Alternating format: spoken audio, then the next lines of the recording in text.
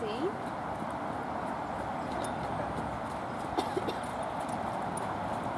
What time is it, please, Laura?